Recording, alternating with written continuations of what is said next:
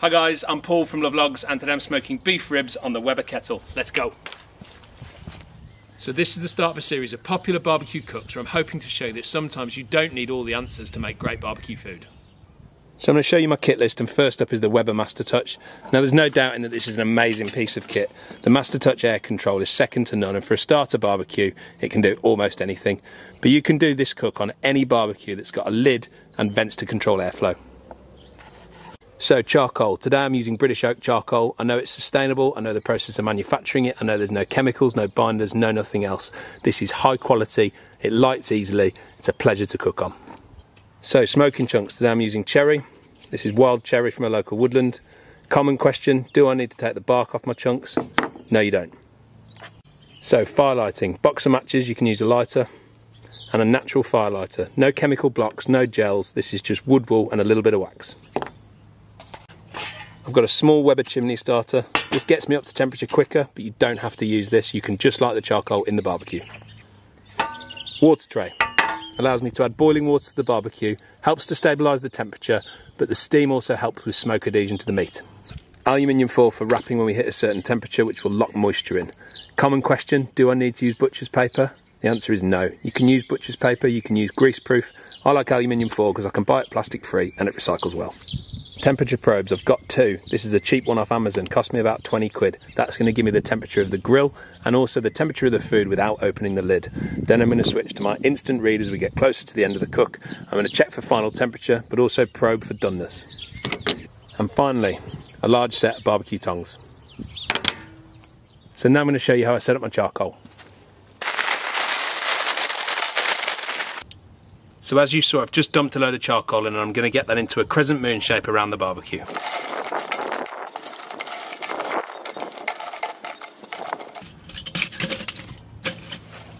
So I'm not too fussed about lump size, it's the air control through the barbecue that's going to control the speed of the burn and that's going to control the charcoal usage as we go through the cook. I'm going to start a small fire here and I'm going to add smoking chunks around the charcoal and as the fire propagates around the barbecue, the new chunks light and add smoke to the cook.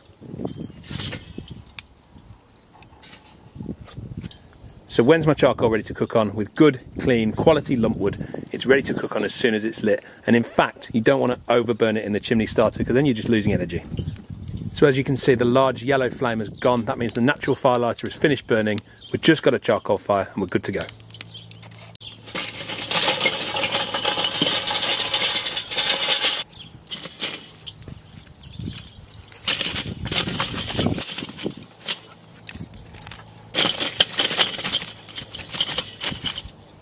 Fire's lit and I'm going in with my water tray.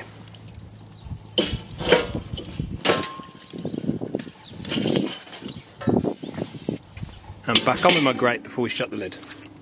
You can see in terms of my fire setup, I've got my fire running on this side and I've put the lid back on, got the vent over there, that's going to encourage the smoke to come up, flow over the food and out the vent. So, so these have been dry brined in the fridge overnight, but I wanted to show you what I got of two different orders of beef ribs from good butchers, how I trimmed them and what was left over. So the first time I ordered beef ribs, this is what I got, and I was a bit surprised. Individual ribs came like this. I was expecting one of these. Now the truth is these are both equally good. Once they're trimmed down, these give you absolutely loads of surface area to get a rub on. Getting a rub on equals more flavour. So these are just as good. The Jacob's Ladder gives you that cut through, so you're going to see the smoke ring. Going to be amazing.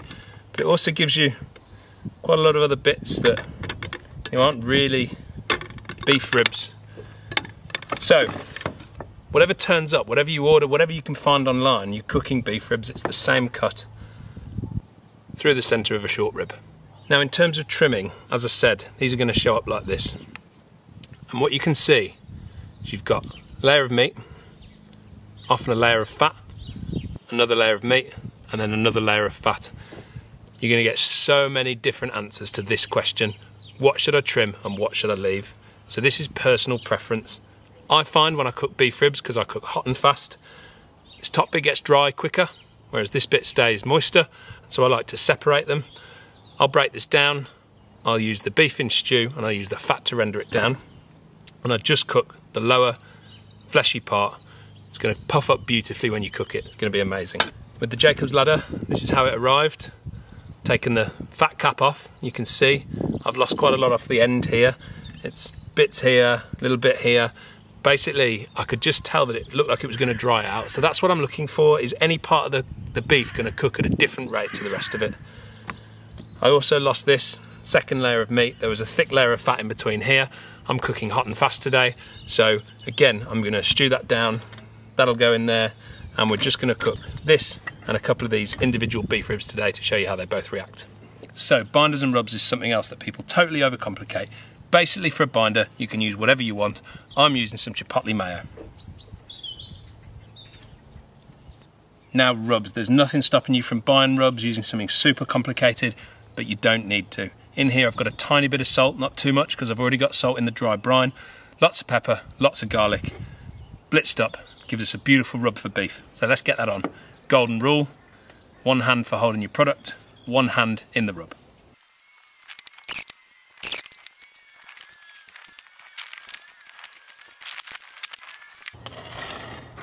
So these are all rubbed and I'm no pro, but that's the point today is I want to show you what results you can get without focusing too much on another common question. Do I need temperature probes or can I just use this on the top here? The bottom line is no, you don't need to use temperature probes. They're nice to have, they're reasonably inexpensive. This measures temperature in a different way to your probe. This is measuring temperature at the top of the dome, so it's always going to be hotter than your grill temperature, which is where your food is. So you can use this temperature, you just need to adjust the way you cook. Temperature wise, you've heard me refer to cooking hot and fast, and that means I'm aiming to cook in a range of about 150 degrees C. Reality is, if I drop down to 130, pop up to 170, that's no problem. I'm currently sitting at 164. I'm going to bring that down a little bit just with control of the vents before I get the meat on. So when's my barbecue ready to add food? Well, you can see here I'm not getting any thick, dirty smoke, and that's what you want to avoid. Just when the wood is catching, you don't want to put your food on. You want to wait until you get this clear, very light, almost wispy blue smoke, then you're ready to go. So my top vent is fully open, my bottom vent is almost fully closed, and the barbecue's running at 150 degrees bang on. So let's get these ribs on.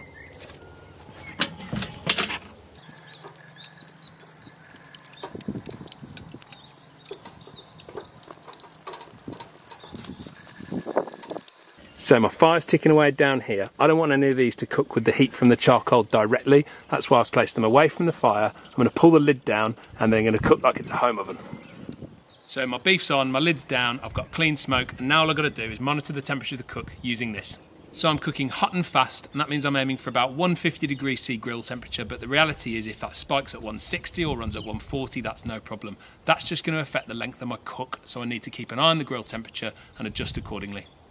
In a barbecue like this, the chances are you are going to need more charcoal for this cook. So if you see the grill temperature start to drop consistently, that's when you're going to need to come up, take the lid up and add more charcoal.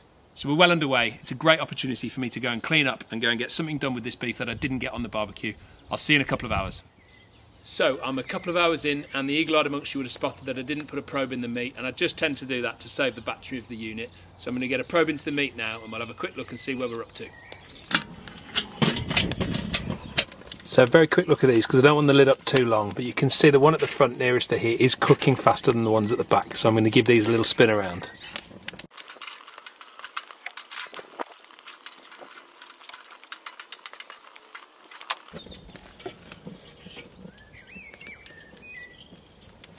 So I've had a move around with these and to be expected really. This smaller one is cooking much quicker, that's nearly ready to wrap. These two and this one aren't as far along, and that's somewhere in the middle. So I'm going to come back in about 10 minutes, check them all, and wrap the ones that need it. So when to wrap is another really common question, and there are three answers. You can wrap at a temperature, you can wrap when the meat is stalled, or you can wrap when your bark is set. I like to wrap beef ribs at 85 degrees C internal temperature, so I've pulled the small one off, and it's a good chance for me to show you how I wrap. So first I create a nice little boat for my liquid. I like to use a mixture of Jack Daniels and barbecue sauce. You can use beef stock, you can use anything. Small amount of that in there. And we're just looking for an airtight seal, which I haven't got, so I'm to wrap again.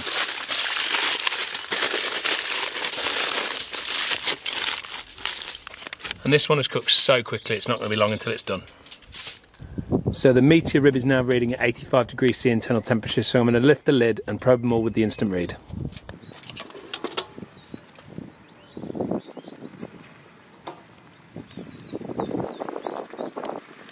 So the two at the back are reading at about 85. Remember, these two are at the front early, so they had a little bit more direct heat.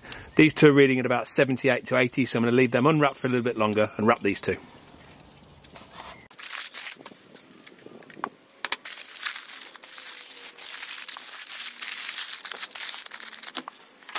So they're wrapped and I'm going to get my temperature probe back into one of the ribs.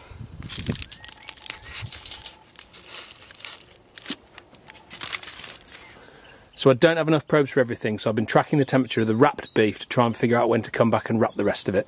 Let's have a look.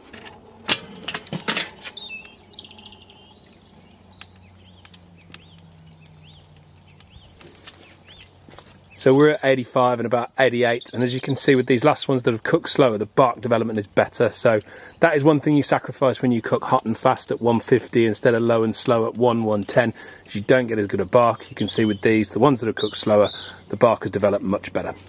So we've now got four separately wrapped pieces of beef. This is the Jacob's ladder. This is two of the individual ribs one individual rib and that tiny little rib which is probably going to be the first to cook.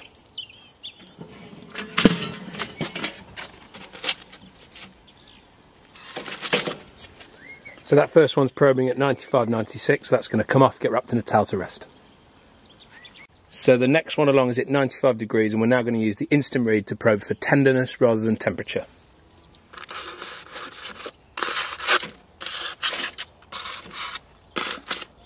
So that's exactly what we want. The probe's going in and out like butter with no resistance. So I'm going to pull that one off and get it wrapped.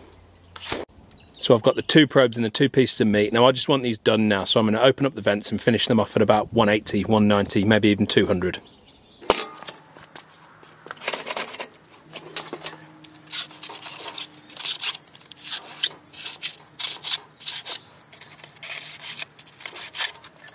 So these are both probing beautifully now, so we'll pull them off, get them wrapped and get inside. So we've got our beef ribs here. These have been rested in the microwave in the towels. I haven't got a fancy cool box, but the microwave does the same job. And these have been rested for about two hours after, roughly speaking, a five hour cook.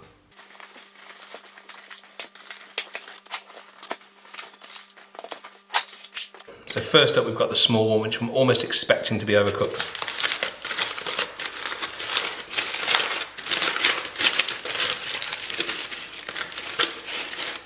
Okay, so that actually looks pretty good. This is the individual rib that was cooked for a little bit longer.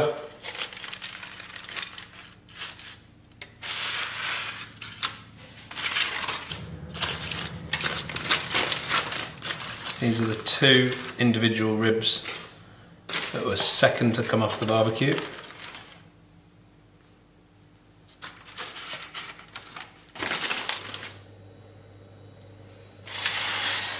And then finally is the Jacob's Ladder. So I've got to say on first appearance, I'm really happy with all of these. I don't know if you can see in the light, but these two are on for longer, the Jacob's Ladder and that rib, and the bark has developed better. Bark on the ones that cook quicker, you can see it's not perfectly set. You lose that by cooking fast. Bark on this one, beautiful. On the Jacob's ladder, beautiful. So that slower cook has given you a better set bark. Let's go into them. So first up, as I say, I think this one might be overcooked, but this is the individual rib, straight off the bone. First one to cooked and first one to come off the barbecue.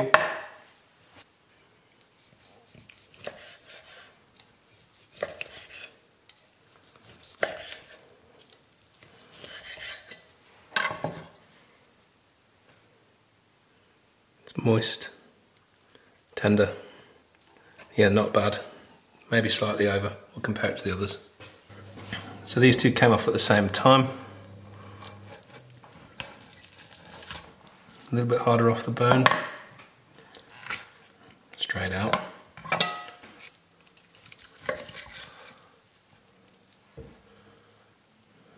Yeah, nice, moist. Bit of fat through the middle still, so if you cook slower, one's nice. On this one, if you cook slower, you break down more of this fat, meat becomes more tender, but that's still going to be amazing. And then these two had the longest time on the barbecue. They were further from the barbecue, which is why they cook slower, and this is why the barks develop better. So I do expect these two will be the best two.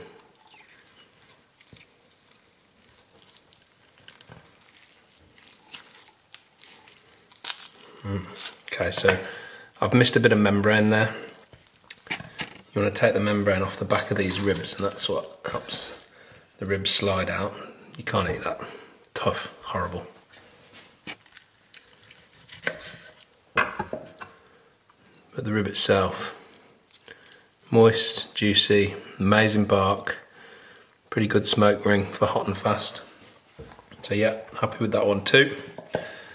And then finally the Jacob's Ladder. And really this is the one that everyone goes after because what you do you cut all these up like this depending how big your ladder is and then everyone gets a serving like that. Good smoke ring. Nice and juicy. Amazing bark. Really really cool way to serve beef. Look at that. So five hour hot and fast beef ribs, single ribs and a Jacob's ladder. Some very simple tools, very simple fuels, all coming out absolutely amazingly. Thank you so much for watching. No, I'm not saying that the details or the answer to these questions don't matter. All I'm saying is, as a beginner, don't sweat the details too much.